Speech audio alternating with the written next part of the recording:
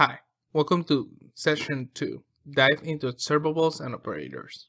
In this session, we are going to take a look at what are flowables and observables, what reactive types are provided by RxJava, and the most common reactive operators in RxJava.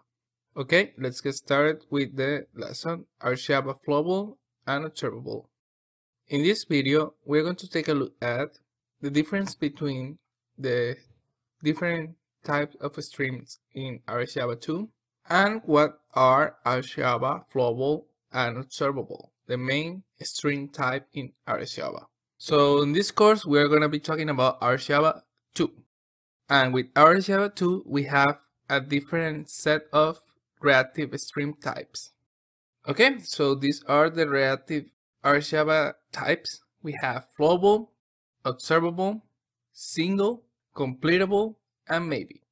In this video, we're going to talk about flowable and observable. So, flowable and observable. RxJava flowable is the main reactive type used in RxJava together with observables.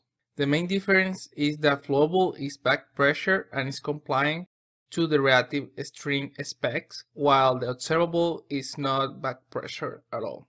As I say, it complies with reactive stream specs and is back pressure ready. The main characteristic of flowable and observable is that are used to declare streams from 0 to n items.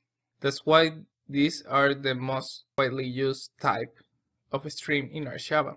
The, as I said before, the main difference between flowable and observable is that flowable is back pressure ready and is compliant with reactive stream specs. So you can see on the wiki, on RxJava 2 wiki, uh, guidelines on when to use flowable and when to use observable. But mainly you should use flowable when you're dealing mainly with string with high throughput of about 10k items. Okay, because when you're dealing with that throughput, should be aware of back pressure. And as I said before, the difference with observable is that observable is not back pressure ready.